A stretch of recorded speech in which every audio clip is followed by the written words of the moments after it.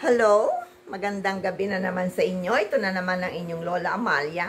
At ako ay muling makikipag-usap sa inyo sa pamagitan ng aking channel, ang aking Jasmine Amalia channel.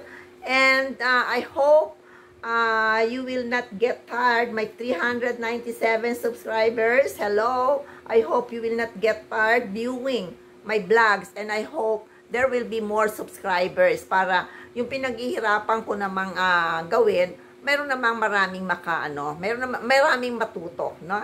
Kasi ang gusto ko lang naman talaga ay may ma-share na matututunan ang ating mga kababayan, lalong-lalo na ang ating mga kabataan. So ngayong gabi, I, I will be vlogging about the peoples of the Philippines.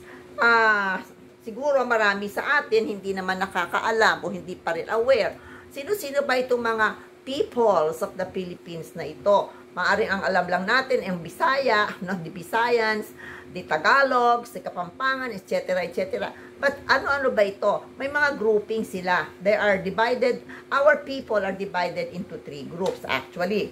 And uh, ang, uh, there are more or less 100 groups of people. 100 groups of people living in our 7,100 islands. Alam natin yan ang ating archipelago, binubuo ng 7,100 islands. At itong mga taong ito, these groups of people are identified by the language or languages that they speak. Uh, at ito, most of the time, itong languages na ito are alluded to the nature or characteristics of the place where they live or they used to occupy. When I say used to occupy because uh, tanggapin man natin o hindi, masakit man napakinggan, at ika nga ay hindi maganda na pakinggan, karamihan sa ating mga ika nga, mga tribal groups of people ay naagawan ng lupain. At ito ay hindi hindi maganda sa kalooban sapagkat uh, they should not uh, they should not be treated in that manner. They own the lands, the, the ancestral land nila yon, kanila talaga yon, but because they don't have the power, they don't have the money, nawawala sa kanila ang kanilang mga lupain. Kaya mabuti naman ang ating pamahalaan ay uh, gumagawa ng lahat ng paraan din para mapangalagaan ang karapatan ng ating mga tribal groups. Mga ancestral lands nila ay hindi mawala sa kanila. So that's a very good thing kasi meron na tayong uh, opisina o tanggapan para sa mga indigenous groups of people natin para mapangalagaan ang kanilang mga karapatan. So, going back, uh, itong mga uh, I, I would like to mention about the Tagalog. Ano ba ibig sabihin ng taga, taga, Tagalog? The Tagalog means Taga-ilog or people from the river. The, the Bukidnon, they are people from the hill or mountain. And the Tausug, people from the current. And Mandaya from upstream. Sa, sa, uh, ito yung mga example. Uh, the peoples of the Philippines actually are divided into three groups. And uh, these groups are the Christianized groups, which is the biggest, and are found mostly in the lowlands or uh, sa mga coastal areas of our archipelago. So these uh, Christianized groups uh, uh, compose the, the a great percentage of our uh, population. 90% of our population. Yung 10% is scattered doon da sa, sa second and third group na. Uh, uh, itong mga ito ay binubuo na ang mga ang mga peoples under this uh, first group of uh, Christianized uh, people ay binubuo ng mga ibatan. You know where is the the ibatans sa atin sa Batanes, the very pristine no uh, uh, province of Batanes na sana wag masira no ng makabagong kabiasnan. Uh, kumbaga sa ano ay the last frontier ang uh, ang Batanes. I hope Batanes will remain remain as pristine no uh, kumbaga sa ano, as virgin as uh, it is as of today. Sana. And Ibanag, ito ay ang mga taga Cagayan, no? Cagayan, Ibanag.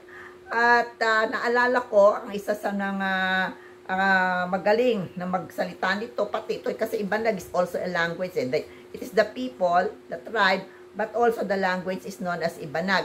And I am uh, very surprised pag naririnig ko yung aking kaibigan si Dr. Juan Sibirion, nagsasalita siya ng iba nag, sabi ko, ano ba, parang ibon, no? pero nakakatuwang pakinggan. But ay sabi ko sa kanya, I think I would not, it would be very, very difficult for me to learn your language. And you know, because the Ibanag language is uh, actually nawawala na, namamatay na, he would not want it dead. So, ang ginawa niya, gumagawa siya ng ano, parang diksyonaryo ng, uh, ng Ibanag, mga term na Ibanag. It's a very noble uh, uh, endeavor on his part because uh, that is one way of preserving uh, our our uh, the, the language na unti-unti nang namamatay. So we, we the next uh, uh, ano ay mga Ilocano. And these Ilocanos, alam natin yung mga Ilocano, sino ba sa Ilocos? Nagsasalita ng Ilocano. The Ilocanos, no, the group of Ilocanos, uh, the uh, ika nga uh, the solid the solid Ilocos, no, the solid group. Uh, nandito ang mga Marcoses, no? Dito sila, yung kilala natin na taga sila. Uh, the Simpsons. And uh, I remember in uh, ang aking aming aming uh, ginagalang na naging kasama sa hanap sa trabaho sa Knights of Rizal, ang napakabait at napakagaling mag-accommodate ng bisita na ang Vice Governor ng Ilocos Sur, si Sir Jerry Singson, Jeremiah Singson from Ilocos. Of course, si Chabit, yung brother niya. Sino pa ba dyan? The Crisologos, no? Yung mga yan, taga, taga Ilocos yan uh, the Marcoses, of course, talagang yan ang, ano, pag sinabi mong Iloc Ilocos, ay talagang si Marcos yan. Uh, kaya, uh, ma, ma, ma, uh, identified na identified, the solid north, no? The solid north. Then, the Pangasinense, sino dito? Si Fidel Ramos, si Siahani, yung kanyang kapatid. Ah, uh, uh, si ano, yung dating uh, Speaker of the House, si uh, Dibinesia, Jose Dibinesia Uh, I think taga rito rin yung ano, sino pa ba? Hindi wala na akong masyadong ma-recall na mga na mga ano eh, na mga mga officials ng government ka na nag, nanggaling sa Pangasinan. Uh, then uh, we have the Tagalog. Of course ako 'yon. Tagalog ako eh. Uh, I am from Batangas at saka Quezon kasi ang nanay ko Quezon nag-migrate sa Batangas. So I am a Tagalog. And of course, uh, sa Batangas, isa yung Tagalog nga, ito ay ang mga ang mga rectos, no? Uh, directos. And uh, another uh, part of Tagalog is uh, Rizal, where Taguig City now is. Uh, dito sa Taguig, nakit malam natin, uh, kilalang kilala di Cayetanos, no? Si Alan, si uh, si si ano, si Mayor Lino, saka si Senator Pia, yung magkakapatid. Uh, so, ano pa ba yan? Ma wala na akong maisip pa sa Tagalog eh, sa dami-dami. No?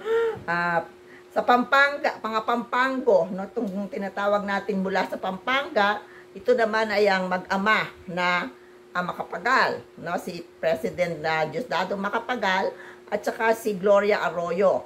Okay. Bicolano, sino ba sa Bicol? Sino Chis Escudero?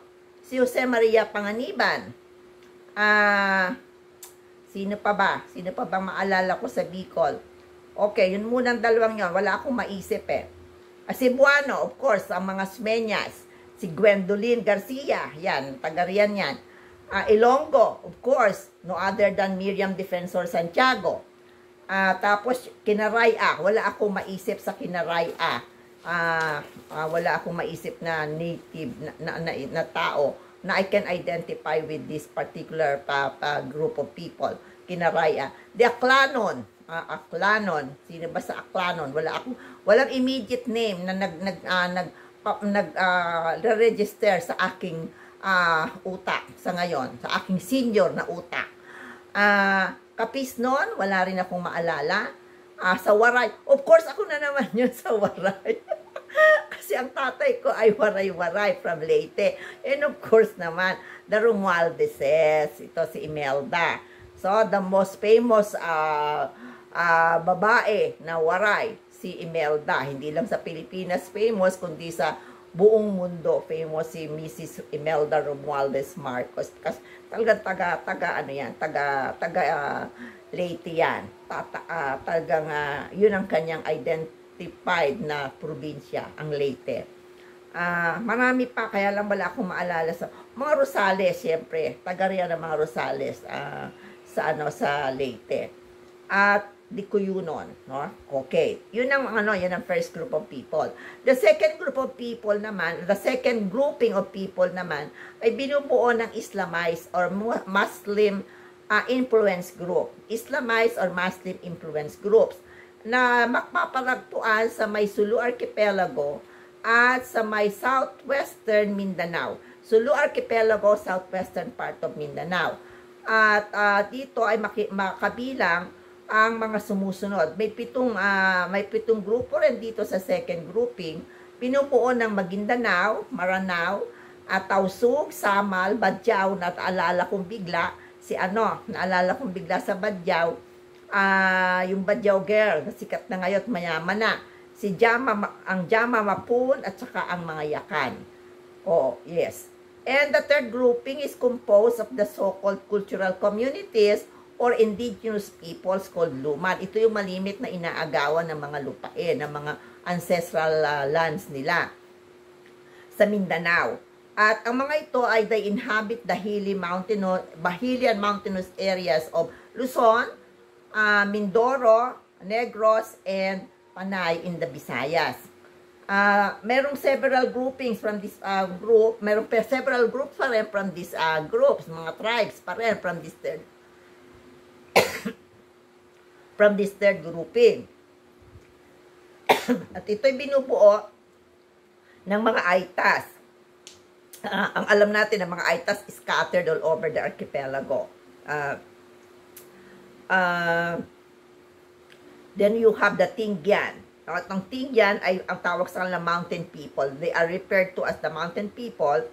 And according to my research, the early Tingyan society community the, Ingl- the early Tingan Society community ay tinatawag nilang uh, animistic, no? Animistic and they believe in patriarchal society. They believe in patriarchal social organization rather.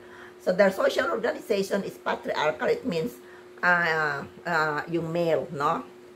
And uh, alam niyo they are very industrious. They are very industrious They are very peaceful people. They don't like quarrel. And they are very clean people. Napakalinis nilang mga tao. Uh, ang ano, they also practice arranged child marriage. And as early as 6 to 8 years na, nakakaroon na sila ng, ng, ano, ng child marriage. Ang, ang bata, ano? Uh, um, pero that is their culture. And today, the Tingyans are, can, can be found mostly in Abra. The other uh, people under this third group is the Ibaloy. Uh, Ibaloy means people who live in houses. Kasi yung ibig sabihin ng baloy is house. So, Ibaloy are people who live in houses. Then the next one is the Bondok, no? Uh, na ang ibig sabihin naman ay people of the mountain province. Uh, very interesting din itong mga Bondok kasi yung bahay nila ay uh, aside from they are very mono, monoist, mono, monotheistic people, ay meron silang uh, uh, village ang tawag nila ay Ili, no? Ili. Sa kasaysayan, mababasa natin yung Ili eh. That's the village. And, uh, ang Ili ay meron silang three basic, uh, basic, no? Uh, uh, basic residential structures. And these basic residential structures ay, ang una dyan ay yung tinatawag nilang ato. The ato is the dormitory for unmarried males and young males. So, ato yon. The other one is the one na para sa mga babae. No? Uh, ito ang tawag dito ay uh, female dormitory, di, di ulog. I, you remember yung pelikula ni Nora Honor, yung um, mayroong ulog na uh, pumasok siya doon. Uh, and the the other uh, structure is the residential ng pamilya which is known as the apong, no? This is the family residence. So, the ili is the village, I will repeat. The, the ili has three basic residential structures. One is the ato, which is a dormitory for unmarried and young males, unmarried, old unmarried and young males, no, no, old unmarried males, naku, pag ikaw pala tumandang binata, dun ka sa ato. Tapos sa ulog naman, doon sa mga babae, dormitoryo ng mga babae. Tapos meron silang apong, ito ang residential, the family residence. So the next group is the Ipugaw. Ah, and you should know that the Ipugaws are very rich in rituals and uh, kasunod nila ay the Kalingas, the Isneg, the Gadangs, then the Itawes na uh, ang ibig sabihin daw ay people from across the river. And this, uh, the, the Itawes are found in Cagayan. Uh, they believe in saints, just like us. And they, uh, they believe that the saints are their guardians and they serve as their intercessors. Kung mayroon silang hinihingi uh, sa, kay, kay, ano, sa, sa Diyos, no? And uh, so they immortalize saints and religious images and they call them also santo like us. And they are placed in revered uh, they are put in revered place in their homes sa bahay nila. The other the other group are, uh, uh, included in the second grouping of people ay the Ilonggos at ito ay makikita naman sa Northern Luzon Noong una, sabi ang Ilonggos namumugot, headhunters, but no more. Then you have, of course, the Mangyans of Bindana, o Bindoro, then the Tagbanwa, o Palawan, tapos meron pang isang group, ang tawag din nila ay the Palawan, no? And the Manobo, and the Bukidnon, and then the Bagobo. So, 15. 15 tribes under the second grouping. And then, uh, ito ngayon ay uh, yung grupo ng mga tao. Napaka na nandoon sa bumubuo sa three groupings of Filipino people, no? The peoples of the Philippines. Ang pag uh, uh, gusto ko sana na sila ay bigyan ng ano ng uh, description pa yung iba. However I think uh, it's long already I will be doing a vlog tomorrow again para ipagpatuloy ko so this is this will be part 1 and we will have part 2 uh, kasi medyo mahaba I don't like to tire you naman listening to me anong napakahaba so just uh, this is this will be enough uh, para matulog na kayo. No? At ako'y matutulog na rin because medyo pagod na ang inyong Lola Amalia. And uh, again, thank you very much. Again, subscribe to my channel. Ha? Imbitahin niyo yung iba na mag-subscribe sa channel ko. At the same time, I would like to to advise you to keep safe. No? Uh, observe our health protocol. And of course, do not forget to pray. Because uh, uh, pinakauna sa atin sa, sa lahat ng panahon, ng ating buhay should be the Lord. No? Pray, pray, pray. And thank the Lord that we are here in this world and we are still enjoying the ikanga the beauty of the world which He created for us. Again, thank you so much. Good night. I love you all.